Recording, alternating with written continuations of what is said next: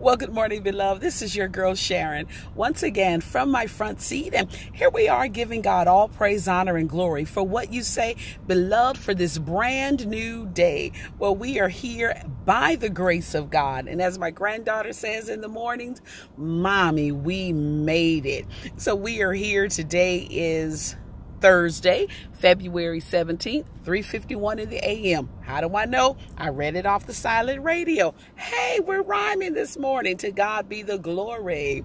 So we are here giving God all praise, honor, and glory for what you say, beloved, for this brand new day. It was by the grace of God. It is by the grace of God that we are here, and we are so thankful to the Father. So I, I, you know, sometime before I switch to video, because when you go to the camera, it's on photo.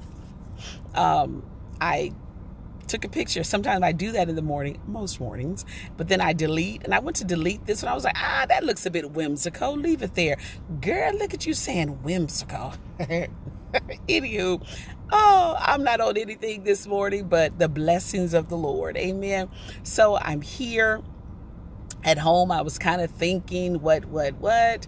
Um, i listened to a couple uh, uh, christian television programs as i'm getting dressed and they both said some things you know and i was thinking about it. But then as i got into the parking space here i was counting something and i was like uh, uh, uh, uh, uh. but then you know what beloved it just rested in my spirit. Sharon, sometime you have to do things one day at a time. Sometime you have to take it one day at a time. Now, we all know that preparation is good and we should all prepare. Um, then there are times in life, even with the preparation, um, not that we are not prepared, but sometime we have to go, you know, maybe a different route. Now, I'm sure we're of the same generation where we learned that the quickest distance between two points is what? It's a straight line. My mother used to tell me that all the time. Sharon, you you you you you take your shoes off and leave them in the floor. Well, you know that's unacceptable. So now you got to go back and pick them up and put them in the closet when you should just do that, take them off, put them in the closet. Save that extra step. Sharon, the quickest distance between two points is what? It's a straight line. And so we do want that straight line. We do want that quickest point. Sometime in life, however, there are detours. Sometime in life, however, as we're going through this journey of life, sometime there there's a sign that says detour, and you have to go this way to go that way.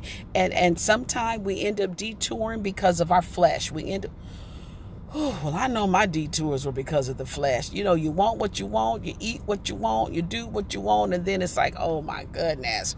Then there are other times where we find that, and God works that out for us.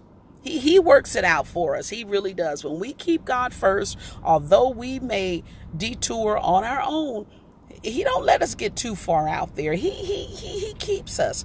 Then there are times, beloved, where we may find ourselves on the detour and we are being led by the hand of God we are being led by the Spirit of the Lord.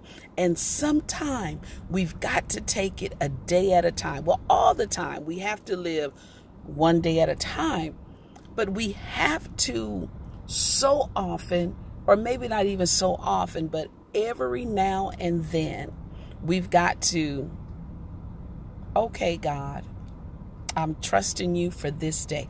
There was a time I would get $5 worth of gas every morning. And beloved, this wasn't too very long ago, or so very long ago, or so many years back. Maybe not even a year. There have there was a time where I would pull into the same gas station every morning, five on eight, five on number eight, five on twelve. It was either eight or twelve. Five on eight, five on twelve.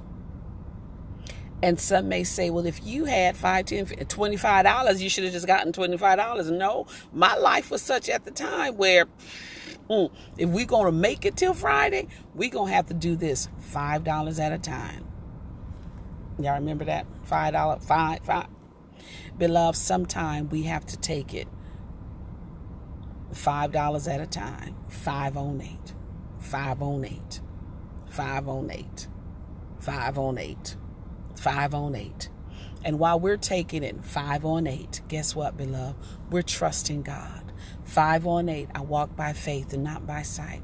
5 on 8, Lord God, why it's this way, you know, and it could be some of my own issues as well.